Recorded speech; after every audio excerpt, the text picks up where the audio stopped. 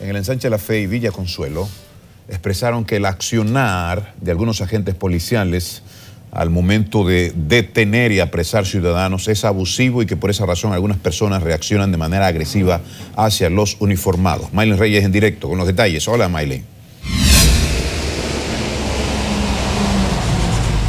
Muchas gracias y muy buenas noches, don Félix. Le cuento que residentes en estos dos sectores pertenecientes al Distrito Nacional calificaron como arbitrario y abusivo el accionar de agentes policiales y militares en los chequeos de seguridad y redadas. No pueden en la calle.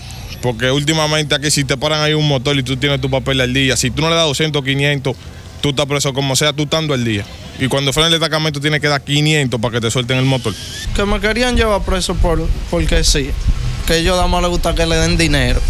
A veces a la policía se le va la mano, porque yo estoy de acuerdo que deben de parar a todo el mundo y se le debe hacer un chequeo, pero si está incorrecto debe de soltarse inmediatamente aseguraron que el trato agresivo que reciben los uniformados por algunos ciudadanos se debe a que estos no lo abordan de la manera correcta. Si usted va por una vía y ellos lo llaman, párese a la derecha, usted se para.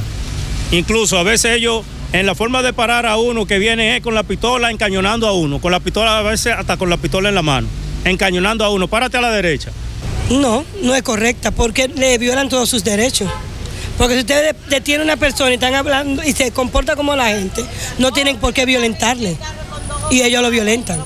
Por lo que piden al director de la Policía Nacional que los agentes que presten servicio en las calles y avenidas estén mejor preparados. La mayoría de veces utiliza la fuerza, tienen que prepararse mejor para tratar al ciudadano.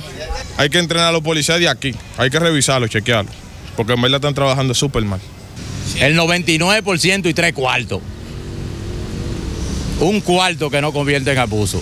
Recordamos que en los últimos meses en las redes sociales se han hecho virales decenas de videos donde se observan a agentes policiales agrediendo a civiles y a ciudadanos, faltándole respeto a agentes policiales y militares.